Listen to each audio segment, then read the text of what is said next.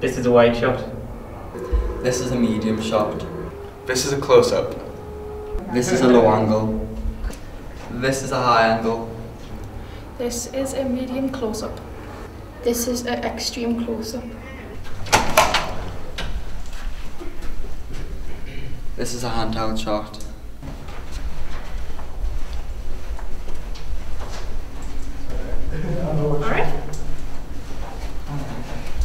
Alright. This is a tracking shot. This is a point of view shot. This is a This is two two shot. shot. This is over the shoulder shot. This is a tilt.